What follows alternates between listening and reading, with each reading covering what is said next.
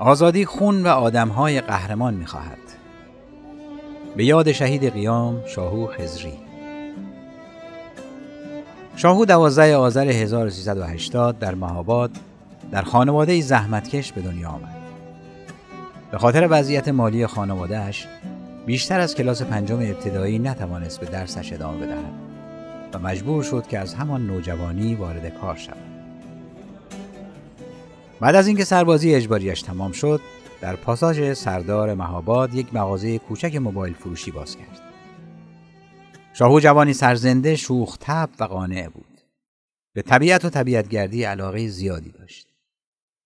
اصلا دوست نداشت در جایی که هست افراد پیرامونش ناراحت باشند و تلاش می‌کرد تا اطرافیان را شاد کند. از روزی که مهاباد به قیام سراسری پیوست، شاهوی جوان هم مدام در اعتراضات شرکت می‌کرد.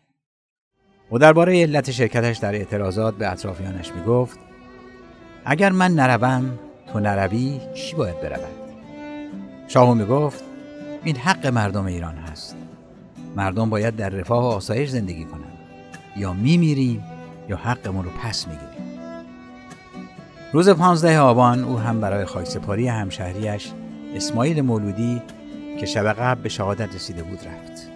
آن روز شاهوی جوان هم مثل همه جوانان مهاباد از شهادت اولین جوان شهرشان پر از خشم بود. آنها مراسم خاکسپاری را به تظاهرات بزرگی علیه حکومت تبدیل کرده و خیابانها را تسخیر کردند. مزدوران حکومت به روی مردم آتش باز کردند. آنها وحشیانه با گلوله های جنگی مستقیم به مردم شلیک کردند. پاسداران خامنه ای ناجوان مردانه درست پیشانی شاهو را نشانه رفته و به او شلیک کردند. اینگونه بود که شاهو دومین شهید قیام سراسری در مهاباد شد.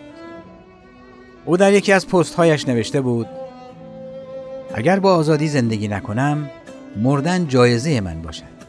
نوکری و سرخم کردن کار نامردان است.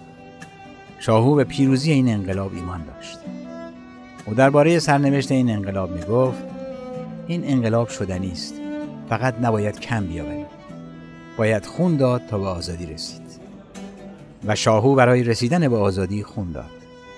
بی تردید خون او و همه شهیدان قیام سراسری زامن پیروزی محتوم این انقلاب خواهد بیانی کی زو؟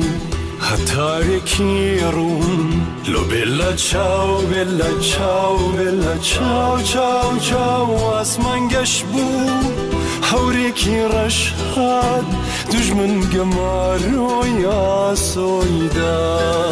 پێشمەرگە ڕاستان چەک لە دەستان.